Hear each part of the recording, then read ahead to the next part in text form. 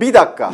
Epik tiyatro. Bugün hangi sözlüğü açsanız, hangi bulmacayı çözseniz epik kelimesinin karşılığı olarak destansı kelimesinin kullanıldığını görürsünüz. Lakin bizim bahsettiğimiz bu değil. Biz Brecht'in epik diyalektik tiyatro kuramından bahsetmeye çalışacağız. Efendim Brecht için epik sapık bir adamdı diyen orta oyunu oyuncusu görmüşlüğümüz var. Oyun içinde komikti, gülmüştük. Buraya da zaten o zaman güldüğümüz için taşıdık sadece. Ama Özdemir Nutku onun için şöyle der ki kesinlikle çok daha iyi bir tanımdır. Evet nasıl der? Şöyle der. Maddeci felsefenin tiyatro anlayışını ilk kez belirli bir yönteme ve yönelime oturtmuş kişidir. Epik tiyatro seyircisinin kendisiyle yüzleşmesini hedefleyen bir üsluba sahiptir. Toplumsal gerçeği somut bir dille sahneden aktarmak ve seyirciyi bu gerçek üzerine düşünmeye sevk etmek. Yozlaşmış toplum yapısını ancak bu şekilde düzeltebiliriz düşüncesiyle oyunların hayata benzemesi, izleyicinin de oyun ve hayatı kıyaslaması istenmektedir.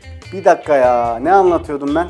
Bak kendime yabancılaştım. Yabancılaştım. Ha, epik tiyatro diyorduk. Evet, epik tiyatroda anlatı boyunca gözlemci konumundaki seyircinin etkinliği aktif durumdadır. Epik tiyatro toplumsal gerçekçidir. Seyircinin duygusunu oynayan bu tür duyguyu geliştirip bilince dönüştürmeyi hedefler. Brecht seyircisinin nesnel bir eleştirmen olması için seyirciyle oyun arasında sık sık mesafe koymak ister. İşte yabancılaştırma dediğimiz olay. Böylece seyirci kendisini kaptırıp da anam ne güzel oyun, ne de güzel dünya falan diye dalıp gidip öyle hülyalara giremeyecektir. Bir de Brecht deyince söylemeden edemeyeceğiz ki kabaca toplumsal davranış, toplumsal jest gibi açıklayabileceğimiz gestus kavramı vardır ki onu başka bir bölümde detaylıca ele almak çok daha verimli olacaktır. Tabi bunların hepsi öyle derinlikli meseleler ki biz burada ancak temel seviyelere girebiliyoruz.